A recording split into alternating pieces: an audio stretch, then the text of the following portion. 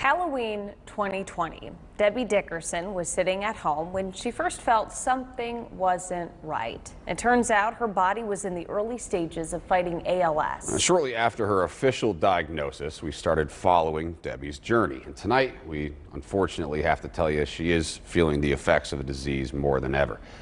But she has plenty of reason to be hopeful.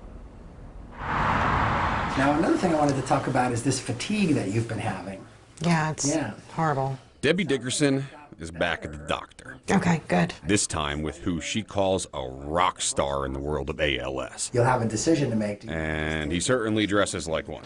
Dr. Richard Bedlack, director of Duke University's ALS clinic. There's a lot of things, you know, that can happen to someone with ALS. Everything Bedlack does, down to his threads, is to promote positivity. Unfortunately, appeared to, you know, have some new problems since last time. But Debbie's disease is not moving in the same direction. You know, her fatigue, which has been a chronic problem from the beginning, was worse, and she was experiencing some nausea. Kind of makes me a little dizzy at times. It For the first time, Debbie says she's definitely feeling its effects. I feel like the insides are shaking.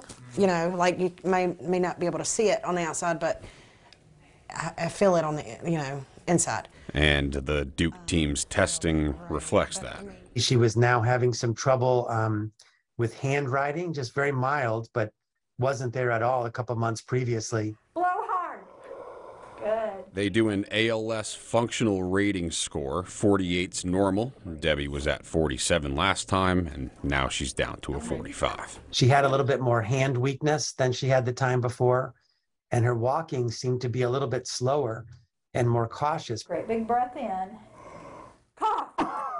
Her breathing function, on a scale to 100, was also deflated. And she had gone from 82% just a couple months previous to 69% when I saw her last week. You look right at me. I'm going to check a reflex in your face, okay? Mm-hmm. They've developed a plan, stopping a medication she didn't react well to, Push me back. going to a mental health therapist, and doing some exercises. Lift up your knee for me. Can you lift it right into my hand? But now it's getting to the point where stopping working might be beneficial. See how your thumb moves a little bit when I do that? On average, people with the disease live two to three years from symptom onset.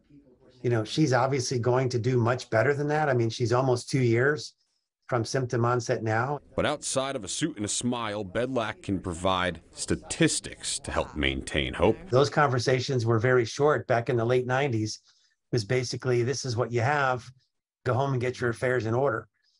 And, you know, now we have a lot of things we can offer. For, of all the cases he's familiar with, some people stop progressing. He calls them plateaus. And while it's widely thought that ALS is deadly no matter what, Bedlack says there are some cases of survival. Usually that recovery is small and transient, but there's 57 people that I know of from all over the world who appear to have completely recovered. For now, they'll stick to the plan, armed with knowledge and technology to confront ALS. But Bedlack says when it comes to this disease, the best medicine comes from within. 4,000 patients that I've personally evaluated, those that found a way to stay optimistic and hopeful, they just did so much better as far as their progression and their quality of life. Speaking of quality of life, Debbie continues to get out and live as much as possible. She just got back from a cruise last week.